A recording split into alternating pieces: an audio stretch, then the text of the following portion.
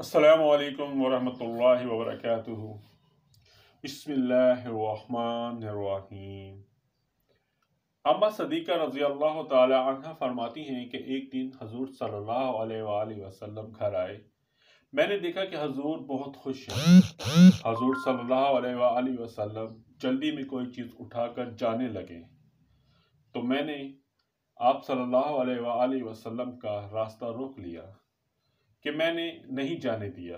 आप सल्लल्लाहु अलैहि वसल्लम ने कहा, आयशा, कोई मेरा इंतज़ार कर रहा है? तो अम्मा आयशा ने कहा, हजूर, लोग तो आते रहते हैं, मेरी भी बात सुनने। आपने फरमाया अच्छा बताओ, क्या बात है?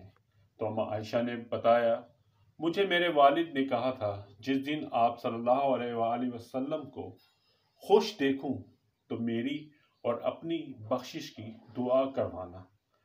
आप सल्लल्लाहु अलैहि वसल्लम ने हाथ उठाए और फरमाया, ए अल्लाह, आयशा और अबू बकर को इज़्ज़त वाली ज़िंदगी अता फरमा। ए अल्लाह, इनका हिसाब क़यामत में आसान फरमाना और फिर का अस्तफ़िल्लाह अल्लाह इन्हें बग़ैर हिसाब के जन्नत में दाखिल करते हजूर सल्लल्लाहु अलैहि वसल्लम दुआ मांग चुके तो अम्मा आयशा खुश हो गई और आप सल्लल्लाहु अलैहि वसल्लम उठ के जाने लगे तो वापस लौट आए और कहा, आयशा मेरी दुआ सुनकर रो रही हो? मुझे कसम है अल्लाह की इज़्ज़त की। मैं अपनी उम्मती के लिए यही दुआ दिन में दो मरतबा माँगता हूँ। सुबह अल्लाह अल्हम्दुलिल्लाह अकबर, सल्लल्लाहु अलैहि